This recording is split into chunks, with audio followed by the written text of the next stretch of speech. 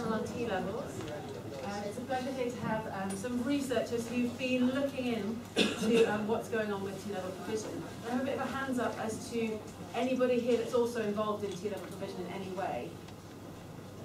Just one. You're a college? College, an FE college. So everybody else is curious about the future of education uh, in this country. So obviously T-levels have been sold by the government in a brilliant branding strategy, I would say, um, uh, to put vocational education on par with A levels. And um, as a former journalist in FE, I think I, I, I would say that the branding has been incredibly strong. I think for everybody in the sector, I'm getting a sense that everyone's positive behind it. They want this to work. They want the investment in vocational to work. But I think there is a fear that the, the actuality might not live up to the brand. I think that's the dangerous place we are right now. We've already had um, T-levels seem to be brushed through when the senior civil servant wrote to the um, Secretary of State to say, we need to put a halt, we need to slow this down, and the Secretary of State said, no, we're going to go ahead it anyway by 2020. Um, there is, I think, a lot of fear in the sector about, is this possible to deliver a high quality vocational version of A-levels Will we have enough students who want to take this? If we're trying to draw from the same pool as A-levels, there's lots of questions to be answered around it. Will we fund it enough to do these 45-day work placements? Uh, there's a lot, lot of ifs going on here. And thankfully, we have a brilliant research team who's actually gone to talk to 25 of the 50 providers um, to see how they're going on so far. So we've got about a year till, till the launch of the first wave of pilots in the three pathways, digital, construction and education and childcare. Um, and so really, this is a great testing of the water to see how providers doing so far, do they feel prepared, and is this likely to be successful given what you've seen, and I can't wait to hear. So introducing Suzanne Straw from NFER, the National Foundation for Educational Research. We also have Suzanne Hall, who's from Pearson, and we have Clare Oberman, who's an assistant head at one of these schools that is doing T-levels, and that's quite unusual. How many schools are? There's five about five academies, because mostly in the FE sector. Yeah. So yeah, really interested to hear. So please, I'm going to pass over to um, Suzanne for the presentation that each going to present, and then we'll have time for audience questions at the end. Okay, yeah, so afternoon everybody. Um, my name is Suzanne Straw, and I've just been introduced, I work for the National Foundation for Educational Research, or NFER. Um, and I'm our lead in terms of um, education to employment. So we cover things like apprenticeships, 16 to 19 careers, employer engagement, um, transitions and, and, workforce development. So in terms of um, our research, um, so I'm going to talk to you briefly about our research today. Um, it's our own piece of research uh, that we've undertaken between uh, January and June this year um, with the aim to inform the 16 to 19 education and training sector about how T-levels are being prepared for the moment. Um, so we interviewed um, providers to um, get their reflections on how they're preparing the first T levels and, and their progress to date. We also interviewed um, sector representatives to um, explore their, their broader perceptions on how the sector is preparing for delivery and we asked questions around how it's working, challenges of learning with the, with the aim that some of that learning would um, influence um, delivery in the future and um, support um, policy. So we took qualitative methodology, and we did the in-depth interviews with 25 of the first 50 providers, so half of them. Um, that included colleges, um, sixth form colleges, independent training providers, schools and academies.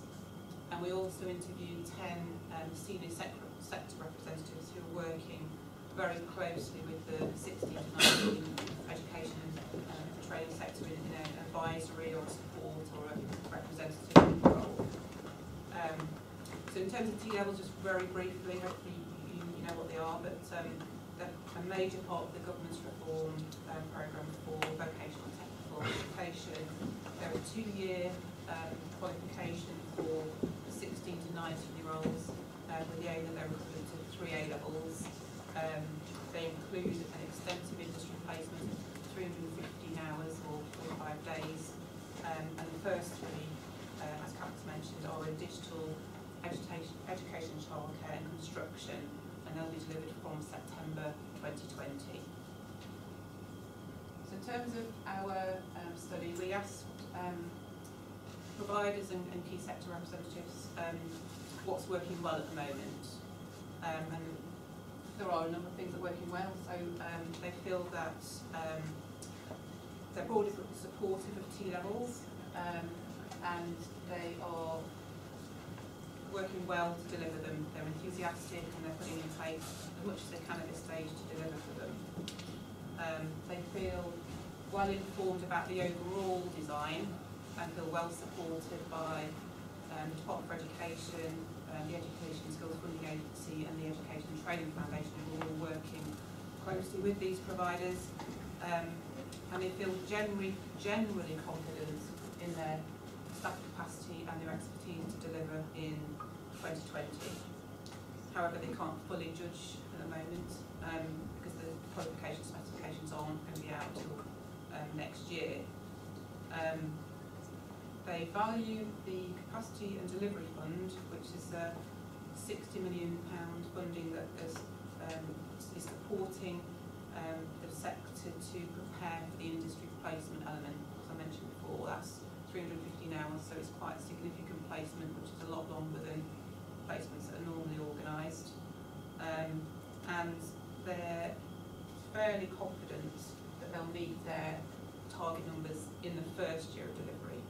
However, most of them have set conservative targets, and most of them are expecting recruit, to recruit between 12 and 20 students, which they feel, feel are achievable. Um, and they want T-levels to be a success. They're enthusiastic and they want them to be a success, so they want to um, make it manageable in terms of the group in the first year, and then they can um, scale up effectively later. In terms of um, what are the challenges, there are a number. I, I sort of mentioned one just, just now. Um, the key challenge we think is the tight timescale to fully develop the first qualifications. The qualification specs are coming out in February and March next year for delivery of qualifications from September. So that's only around six months to fully develop the qualification, which is a key challenge. Linked to that, they can't fully assess their skills needs and capacity until they see that detailed spec. And then that doesn't leave a lot of time for professional development. Um, as I said, they kind of feel that they've got the right type of staff and with the right skills at the moment, but um, they can't say exactly until they see the spec. But there are concerns about um, recruitment and retention in um, digital construction, particularly over the longer term where you can get a much higher salary in industry and how do they attract those people into the sector. Um, there are um, concerns about the industry placement, particularly in securing those in certain sectors like digital where there's lots lot of small micro businesses and how can they accommodate placement. And there's also um, concerns about later on when the T levels are scaled up, how how do, you, do they secure the number of placements they're going to need um, and issues, particularly in rural areas, around securing placements. Um, there's and challenges around the size of the, pro of the programme, which is 25% bigger than the average study programme, and linked to that, um, how do more disadvantaged young people who, for example, have care responsibilities or part-time jobs, how do they engage with a programme of that size? Um, in terms of student recruitment, um, there's currently low awareness. Um, there's some challenges around schools who might be protections to their A-level pupils, who would be the cohort that um, T-levels looking for. Um, their entry requirements are similar to A-levels, um, so that may um, pose challenges. And again, as I said, the demands of the programme. Um, it is proposed that there'll be a transition year, which will be for levels two students to help them prepare for T levels students who are not quite ready. Um, and there's um, people are very think that's a good good thing, a good idea, but at the moment there's a lack of detail on what that's going to include. Although um, a transition panel to look at that transition year has now been set up and they are developing a framework for that. Um, there's a current lack of clarity on progression routes. Um, initially, T levels were set up to fill skills gaps, um, technical roles within employment. Um, now that it's been broadened out for them to um, also include access to higher education. Um, but there are particular issues about how they link with level four apprenticeships. So if you're doing a level three T level, you want to go to level four apprenticeship. In some sectors, um, they won't um, develop the sufficient occupational competencies for that progression from level three to level four. Um, and within that context, there's a broader issue of where do T-levels fit in to um, level post-16, level three qualifications, um, particularly within the context of the review of post-16 qualifications at level three ongoing. We don't know what's going to happen at this point with applied general qualifications, which are um, could perhaps compete with T levels if they are if they remain. Um, and there's also concerns around support for future providers. These providers are having a lot of support, there's quite a lot of extra funding. What happens in the future as, as T levels roll out? So in terms of the learning points, there's quite a number here. I'm not going to go through them all in, in detail. Just talk about some of the key ones. Um, the, it's going to be important to see how some of the initiatives that are now, that one minute I've got, are now out there in, in the field, um, taking, taking teacher further, which is looking at um, helping to integrate people from industry into the sector, how that's working, and some of the professional development has been um, uh, developed by the Education Training Foundation, how that works. Um, a key issue is, and a key learning point is that the need to raise awareness of young people and their parents, carers, and all of those advise them um, about T levels and, and what they involve and how, how they compare to other qualifications out there. Um, in terms of the industry placements, um, there are some more, there are more flexibilities in that. There was a, a document that came out a few weeks ago um, around um, people being able to, to work with two employers rather than one, be able to do tasters as part of that placement for 35 hours, but there's still need for more um, guidance on that, more flexibilities and more um, guidance on sort of contingencies if placements break down for no reason, not no fault of the, the student. And there's also need for awareness raising of, of employers. There's, a lack of understanding of T levels out there currently. And then just finally, um, I mentioned before about professional routes, there needs to be more clarity about what they are, um, and there needs to be more clarity about where T levels fit, as I said, within that broader context of, of level three um, provision. Um, so that's a really quick tour around the report. The report is available on our website, um, and I think there's some executive summaries here that you can take away with you. Um, and there are my details if anybody um, wants to get in touch with me or can talk to me again if they want to ask anything more about the, the work we've done. Thank you. Hi, I'm Clare Oberman. I'm assistant head at Painsley Catholic Academy. I've got a cold, which is quite.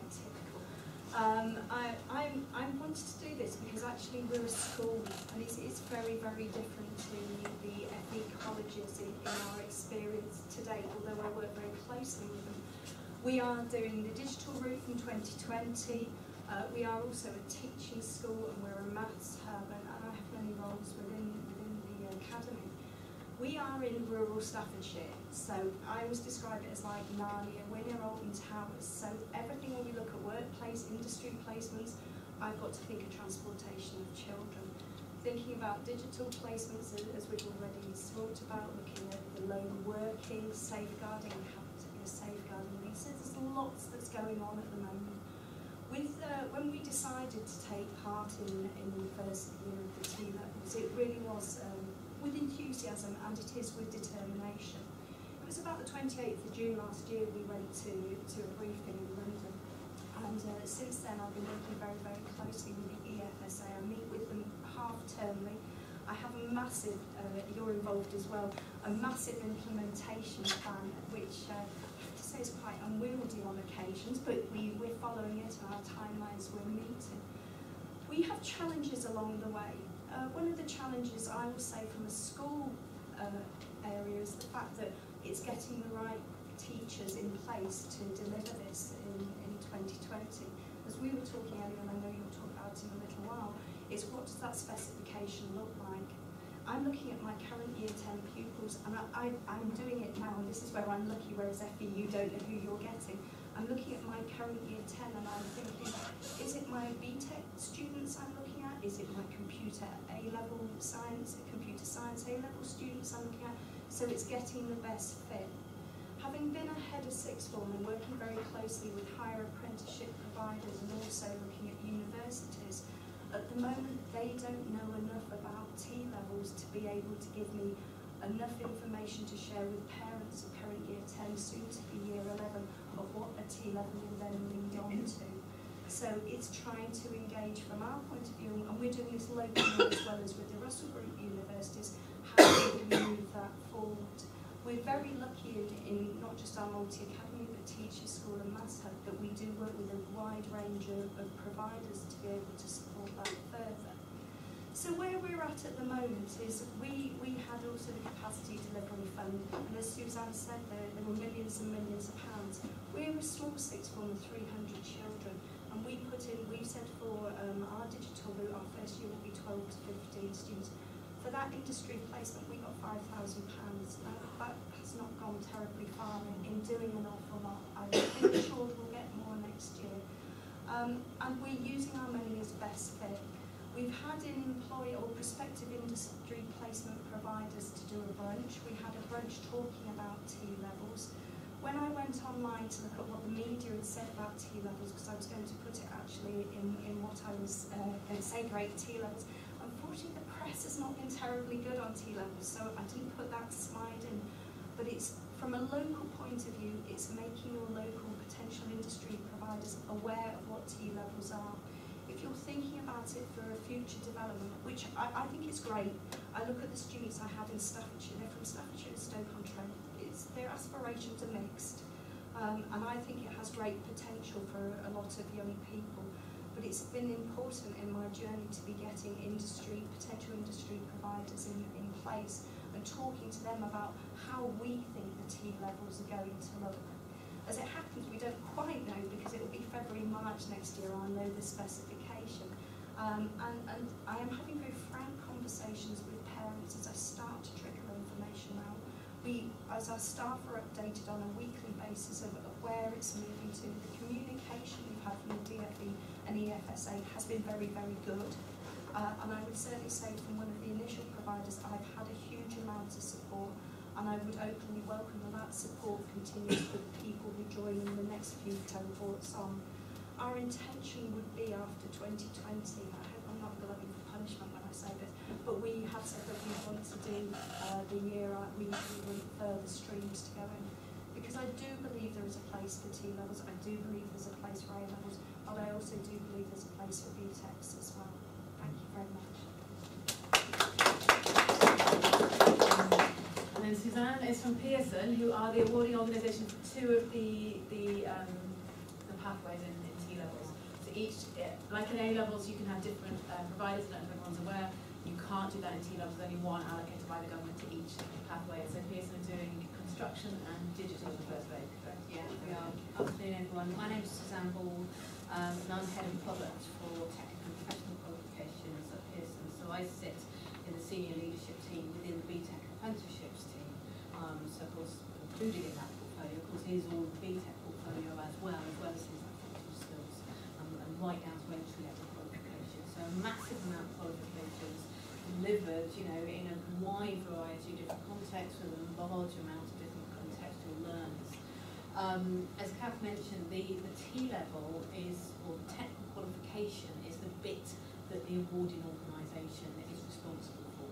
So there's a whole host of other stuff, the industry placement, the English and maths, there's another bucket of qualifications that we don't really know what it really looks like. But the technical qualification is the substantial component of level, and that is what is tendered for for a single AO to hold the contract for four years. After that four-year period, we would have to retender, and potentially the contract can move over to a different awarding organisation. Um, and that process is administered and run by the Institute for Apprenticeships and Technical Education, driven by DFE and um, ESFA. The content that um, we're developing um, has been provided by the T-level route panel, and again, that is controlled by the Institute um, of I just call it Institute, it's a huge.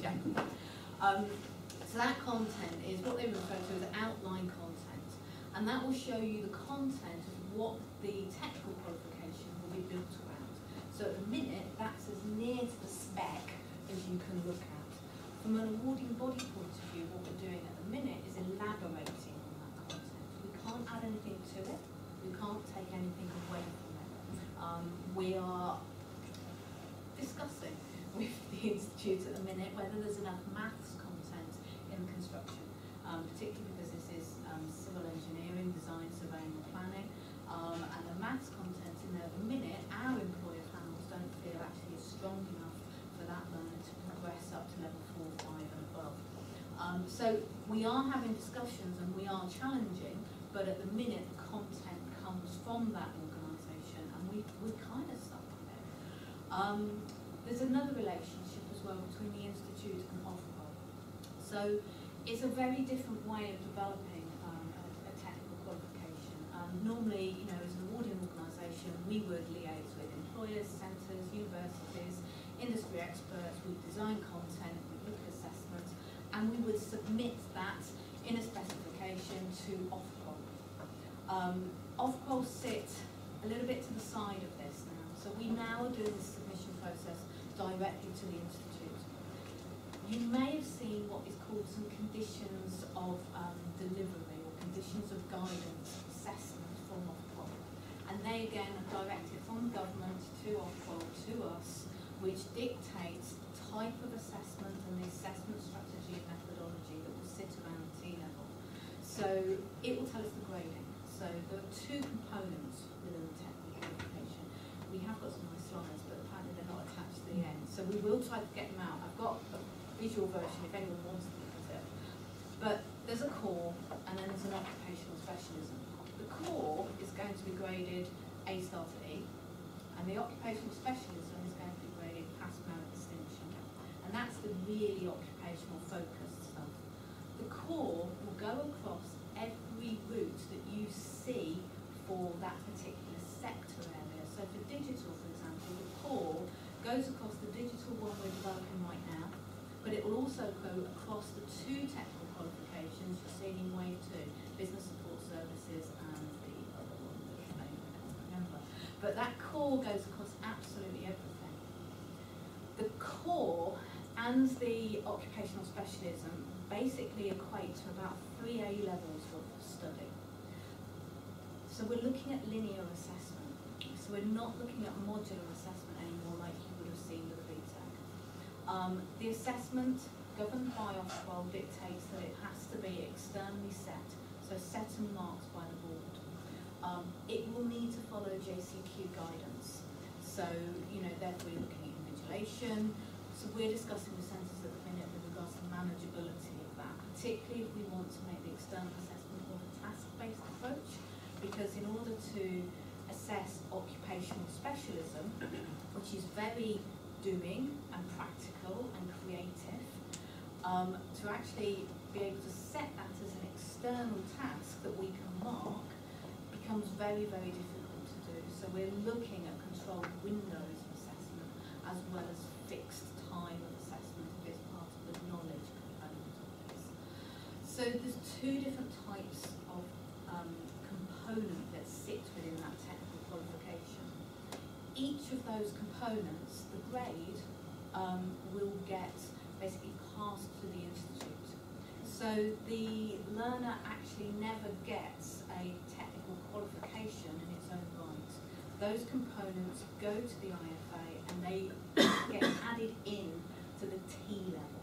Okay, so the learner will never receive a certificate from Pearson saying they've got a technical qualification in design surveying and planning, for example.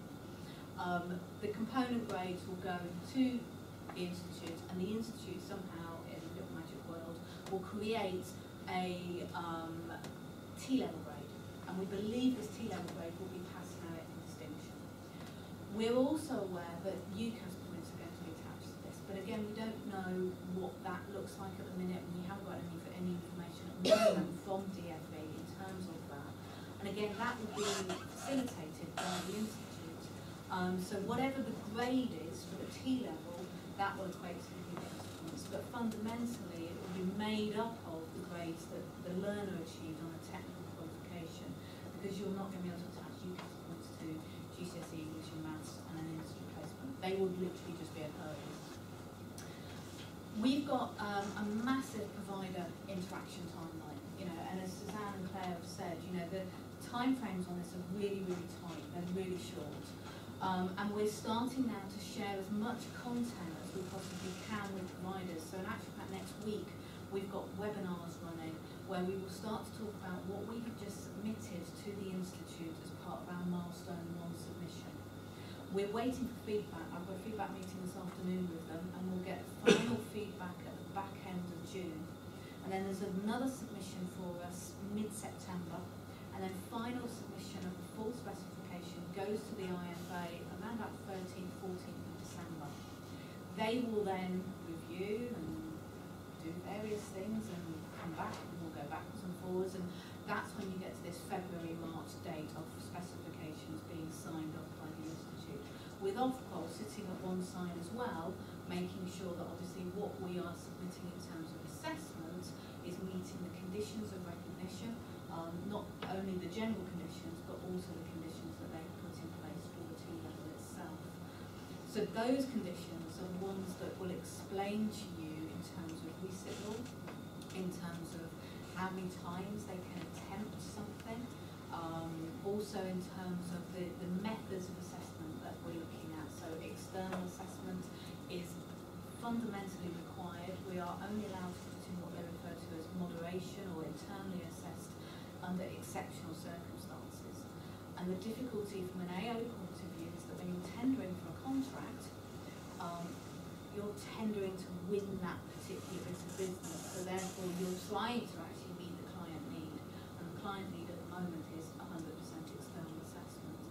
Um, so we're trying to work, work with centres in terms of when those assessment windows will occur in terms of industry placements, English and maths resits if they're required, and how all of that sits into the mix, because although we're not responsible for the other bits, it does have a massive, massive impact on it.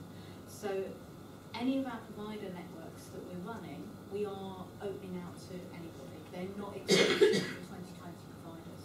So if you do want to get involved, and actually just go onto the Pearson website, just plonk T levels into the search engine, and you should find that T level page, and you can reach out to us in that way, and then get involved and, and join in some of the conversations that we're having.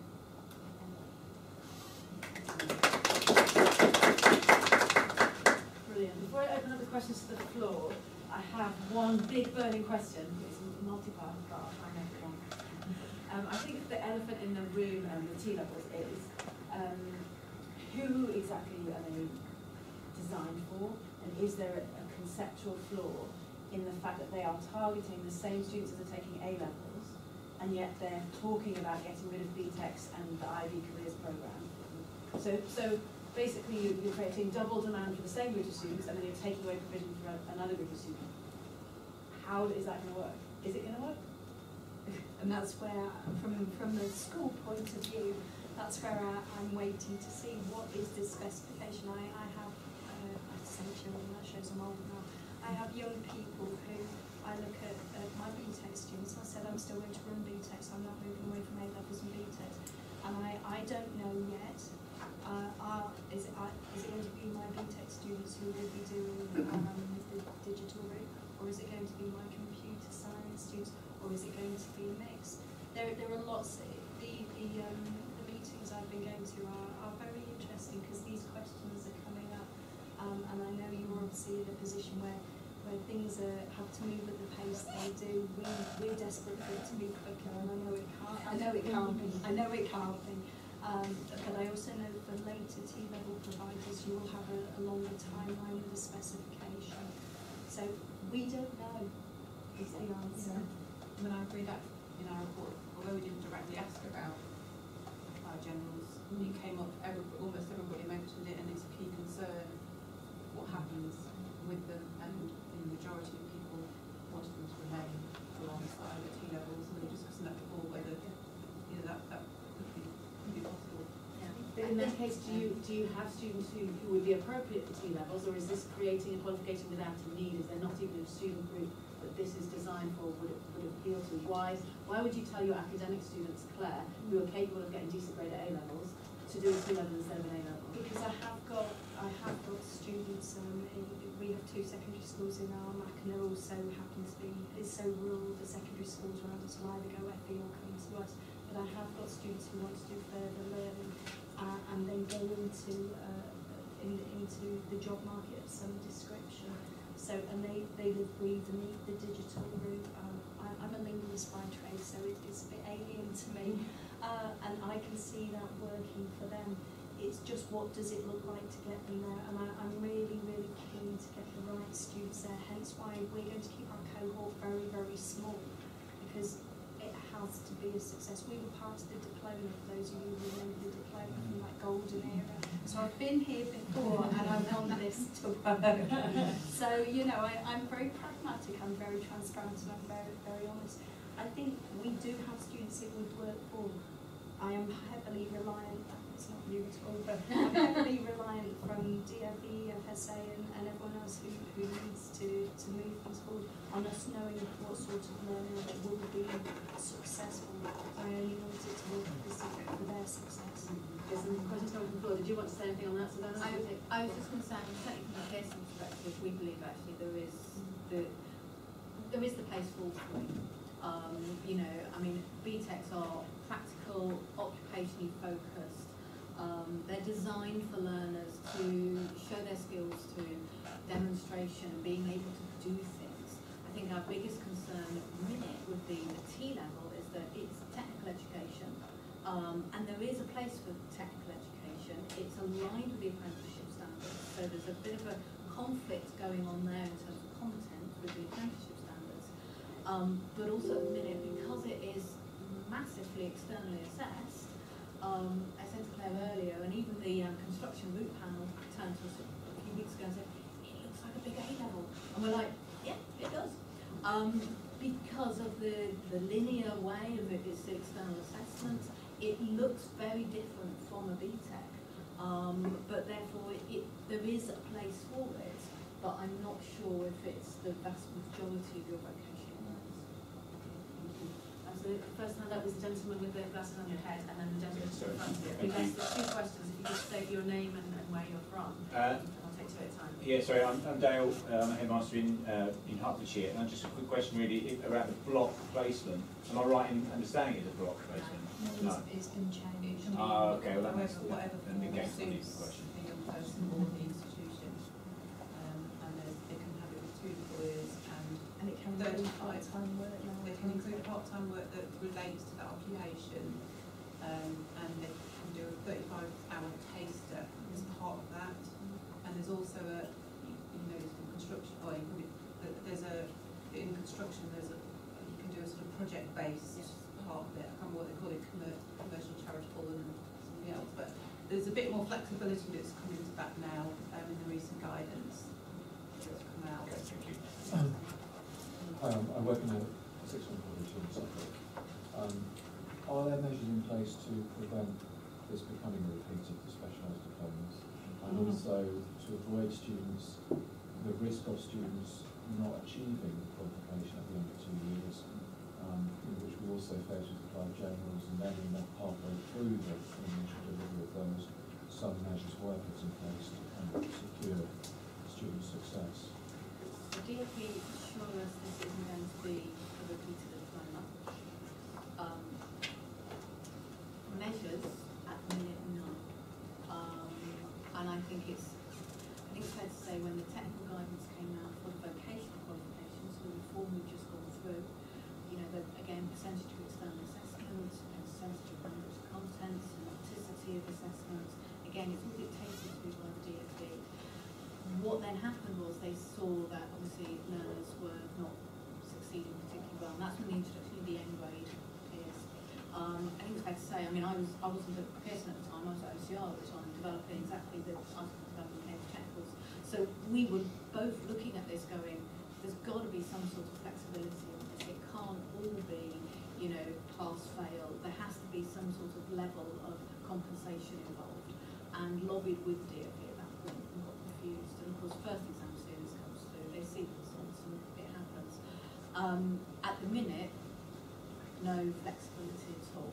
It could be that that flexibility does come through once we go through first five series. Um, but at the minute, it is, you know, very clear on the grade.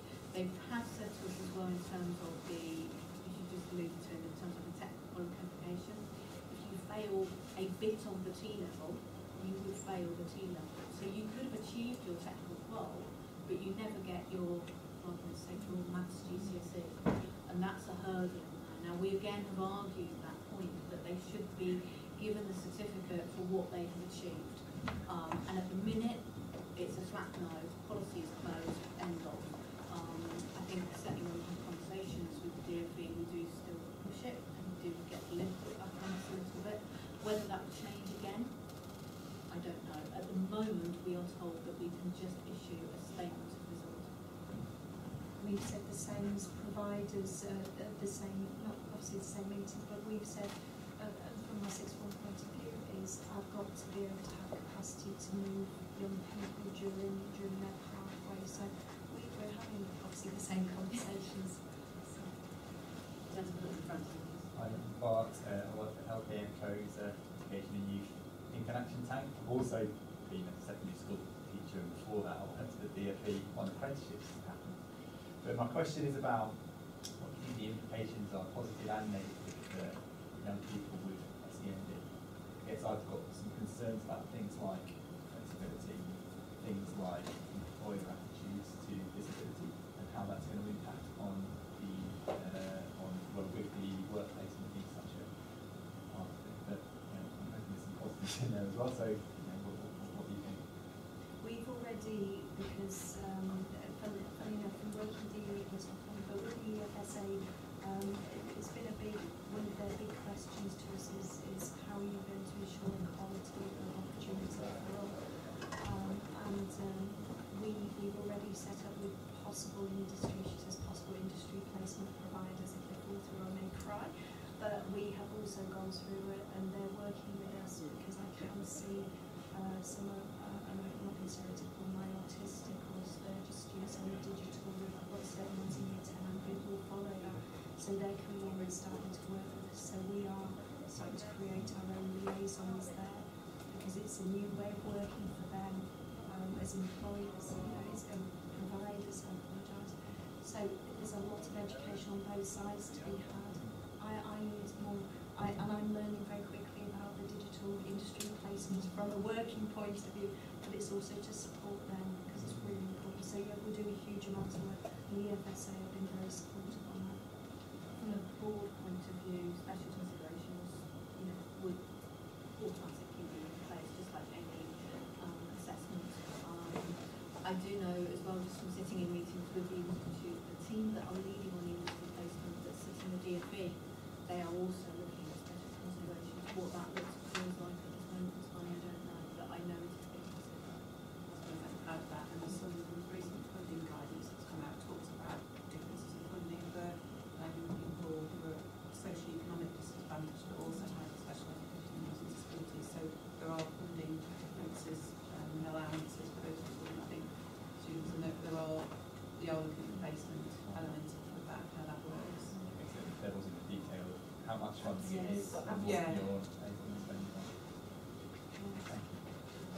Paul?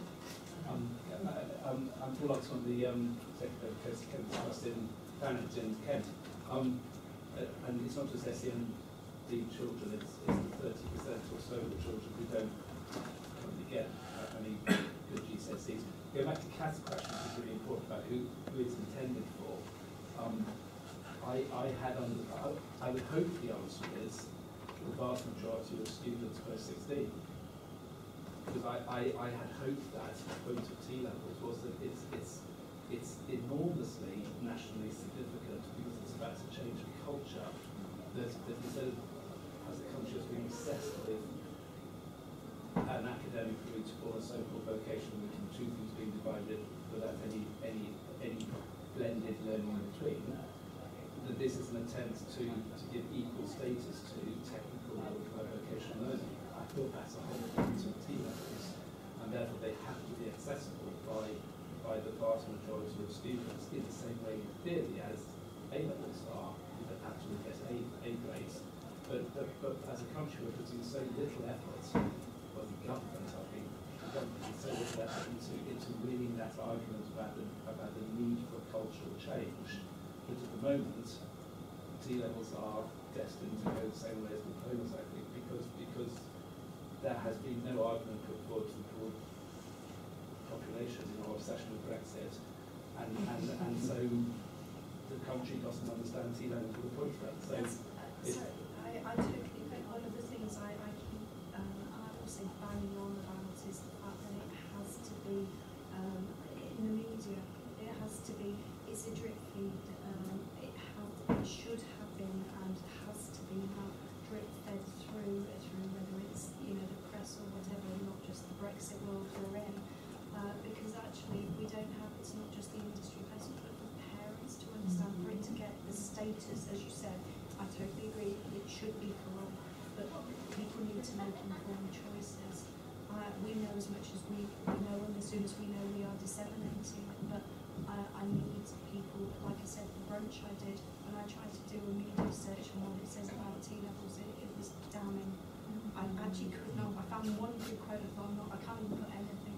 So it needs, it really needs to be back on the national agenda for, for it to work effectively. And we understand that that's sort of ramping up from September, that sort of more awareness raising, but it can't be necessarily national, nationally managed because T levels are only going to be delivered by these different providers in, in different areas. But just on that sort of post sixteen million people, um, they don't have to have English and maths GCSE grade four or above.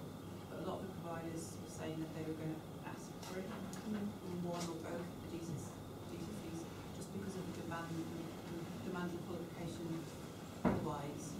So there is funding to, um, for them to retake, but it's just the time within the qualification. And so a lot of providers, this particularly now, they're going to be cautious and going to ask for maybe one or two of those as entry requirements or two level, which is a little bit different to perhaps the I just note within the sessions up, sorry, that's Okay. your time, you to give the I was final just, word? yeah, I was just going to ask that, to, to, to make it accessible for all, the main thing is going to be advice and guidance in. Um, these T levels are very specific, they're very occupational focused, they're almost job role focused. So if you do not know what job role you want to do, it's really going to be very difficult to know whether I'm going to do which T level, um, because they're so job role focused. Um, so advice and guidance, key stage four is going to be fundamental. Yeah. I'm afraid I'm going to have to close the session there, but thank you so much to all of you and for your listening.